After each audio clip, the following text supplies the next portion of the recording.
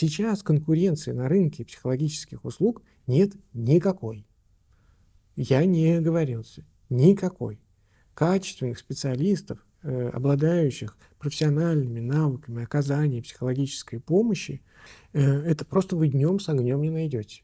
Вот. То, что иллюзия есть э, большого количества психологов, потому что ну, каждый завел себе э, страничку в каком-нибудь э, социальной сети и там значит, активно себя продвигает в качестве психолога, но они безработные. А все, кто профессиональные, понимаете, у них там очередь и запись и так далее. Наша задача, она просто помочь огромному количеству людей.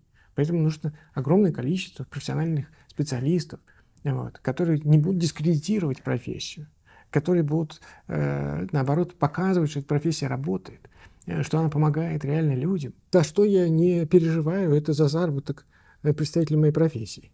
Вот. Э, переживаю, что мало. Мало. Нас должно быть больше.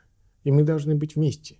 Вот. Потому что мы должны транслировать э, э, такое отношение к профессии, которую начнут уважать, ценить и так далее. Поэтому, конечно, наша профессия, ну, точно без куска хлеба вы не останетесь никогда.